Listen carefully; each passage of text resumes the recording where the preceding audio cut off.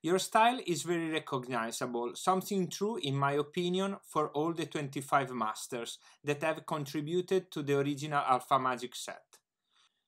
Do you think about your artistic path when you work on new art? Or do you take for granted that there must be some coherence in it, since it's always you behind the brush? I just sort of take for granted that I draw things and paint things the way I I see them. Not I don't try to make a style that reflects off other artists or that would work as part of a whole. Yes. Um, I just um, you know I, I like to paint very bold figures with very bright colors.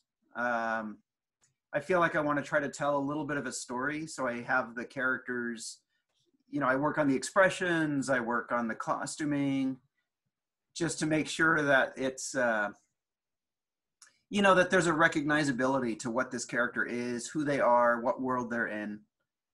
And uh, I, I didn't think about, you know, the other artists. I just painted, you know, as I as I saw, like the Serra Angel or the demonic Yes. tutor, um, just the way I would want it to be presented. yeah Um, I, in the early days of magic, we were told to uh, paint very simple. We were told the pictures were going to be about the size of a postage stamp. yeah, yeah. And so they said, keep it really simple, do very little background, um, make the colors very bright because they're going to be very tiny. And so I didn't do very much detail past the character. I, I would just paint the individual, you know, like a demonic tutor. He, Yeah. You know, there's a little bit of a volcano behind him, but that's all. Recently, I asked the same question to the photographer John Divola, and he replied in a similar way. When he works on something new, he's focused on what he's doing, and probably that is enough. That is already the link. I think that with your style of drawing could be the same. I don't even see a style. You yeah, know, when I paint angel, demon, force of nature, prodigal sorcerer, I didn't even see a style. I just I just did the art. Yes. And and I've been told that people can recognize it. I don't see it. I just you know, I just draw what I draw. Sometimes it's the same in music. Even if an artist experiments in different ways and doesn't think about having a style, often its public doesn't recognize one. Do you have visual references for your work? I was very inspired by um, a lot of the 70s pop artists like um, Boris Vallejo, Frank Frazetta, Ah. uh, Michael Whelan. These are some of my biggest influences, and I have stacks and stacks of books with their art in it. Of course, you can find it all on the internet now. Yeah. Um, but I used to collect their art books, and I'd look at them with a magnifying glass and study Ah, okay. how did they paint this and shade that, and how did they do metal and hair and leather and uh, stone, and how do they handle all the different tech techniques? And I think a lot of that has worked its way into my style because those artists are known for being, you know, very bold and particularly Boris Vallejo, who's a, a favorite of mine. Um, Nice. And so I'm, I'm positive I got influence from that. And I know you have a collection of Warhammer figures. I have been playing Warhammer for 30 years. Yeah, nice. and uh, I mean, I love it. I I don't know if you can see. I have a whole table over here for painting figures and all my paints. Wow, nice. And uh, this- yeah, in the other room, I've got shelves and shelves of display cases that I just display all my stuff on. Is it part of your work? Just a hobby for me. Um, I try to make my figures as good as I can, and I do show them sometimes. Um, I've never done a paid commission or anything like that, though.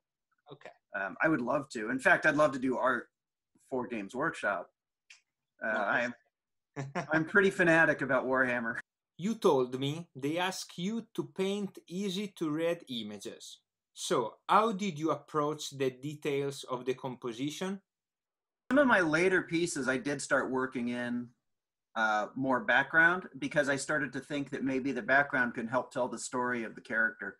Yes. Um, for example, they had me do a, a, the Northern Paladin, Yes, yes. and then in Mirage, I did the Southern Paladin.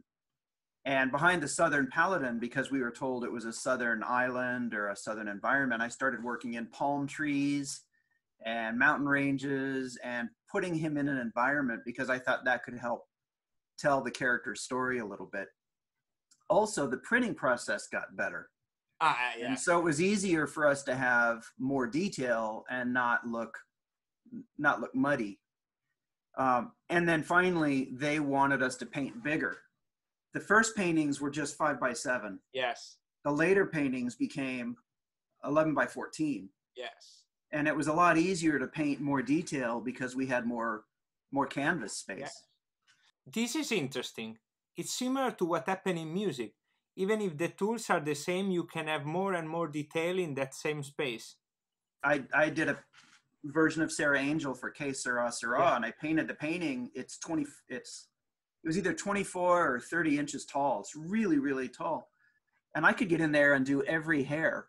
You know, I was doing every, every hair strand. And so because it was just a bigger canvas, we could do a lot more with it. Nice. Now digitally, you can do anything you want. In my field, the debate between analog and digital is still very present. What was your opinion of digital painting when it started taking over your field? I know a lot of enthusiasts in the Magic the Gathering community are still skeptic.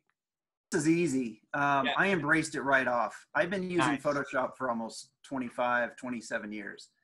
And I love digital art. There are so many advantages to it. Yeah. I can save, I can erase, I can make fixes, I can delete the whole file and start over. So many advantages. The only problem is if I do artwork now digitally, then I don't have an original painting. Yes.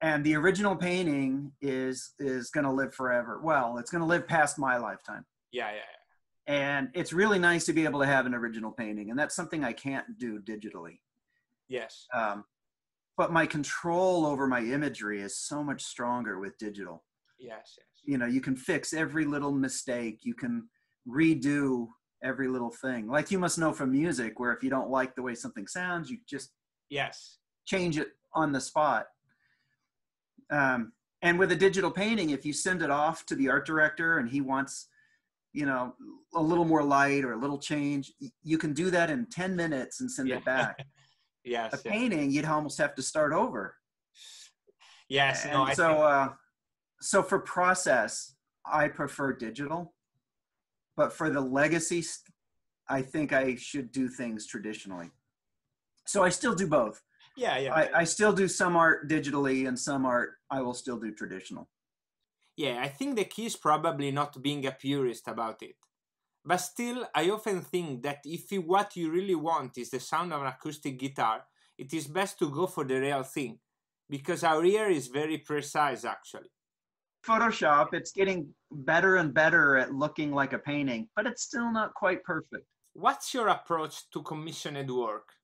Is it difficult for you to adjust your style to a client's request? I want as much detail as they can give me.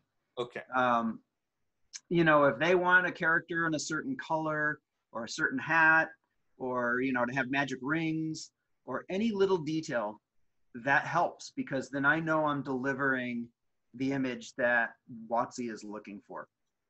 Um, I'm not, I'm not one of these people that think, oh, I'm, I know everything, I'm perfect. Yes. Yeah. I, I want all the detail from the art director. Um, and I'll do multiple sketches. I'll draw several different versions and let them pick which one they want. Uh, just to make sure that the customer is getting the image they want. okay. Um, you know, when I did the cover for you, the more detail you gave me, the more I knew you were getting an image that you would be happy with. With me, it was maybe a bit more crazy. I got to know your art when I was playing Magic every week with my friends, and that imaginary has always been a big influence for me. So I wanted to reference to those artworks, but at the same time, I wanted to see what could happen. You had good ideas to get me started, like you wanted Yes, the chess yeah. pieces, you wanted the eggs, a Yes, volcano, um, you know, the punk character with the book. yes, Like, yes. okay, I, I can do this. I can do this. That's that's some creative stuff. In fact, I was wondering how much of what you do is commissions and how much work goes on your own projects. Most of it is commissions. I still get maybe a, a dozen pieces of fan mail a week. It still comes in. People wanting autographs, people with questions, um, and I get commissions. I get three or four commissions every week. Nice. uh, to do card alters, yes, yes. to do playmats, custom playmats.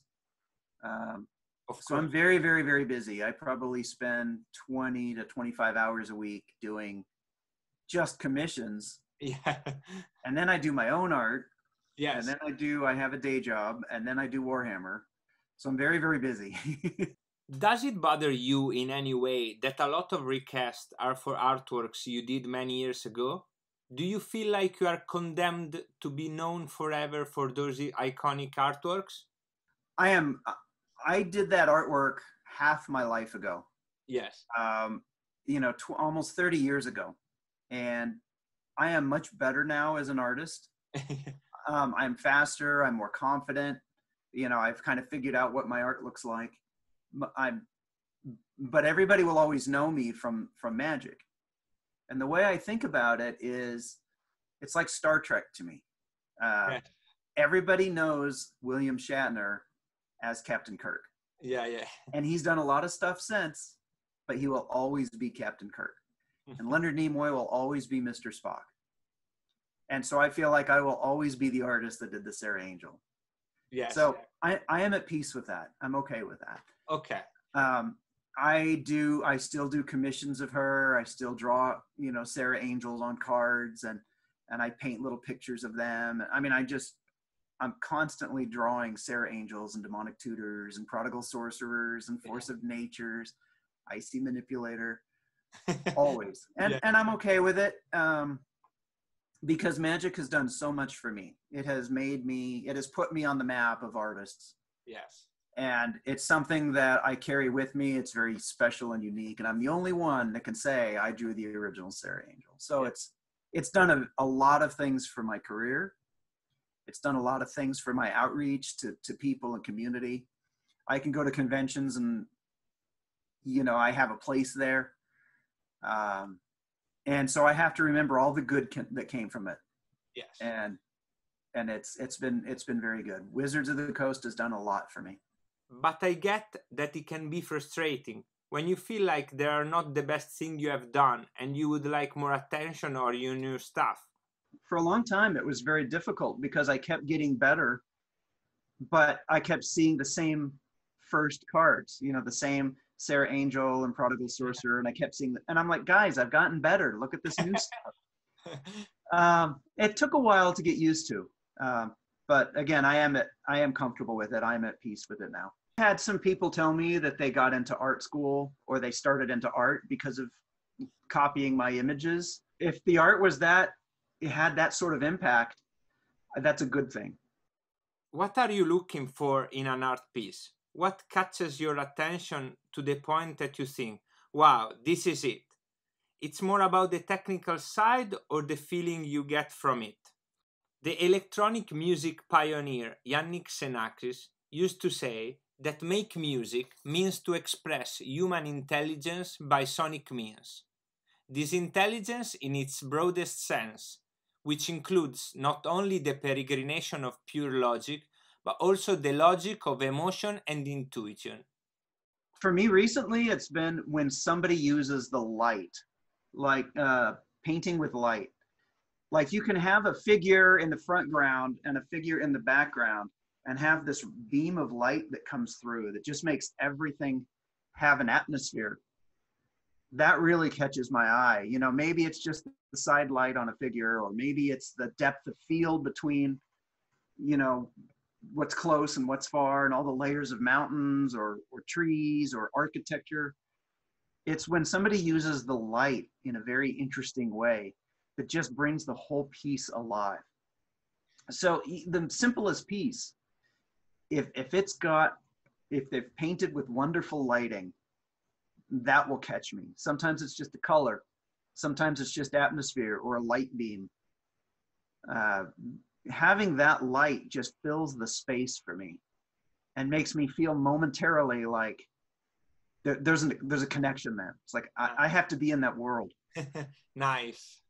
and so I, I i pay attention to the lighting quite a bit i'm not very good at using it myself or at least i try i push to do that better. Um, but if i see something with just elaborate lighting i just go crazy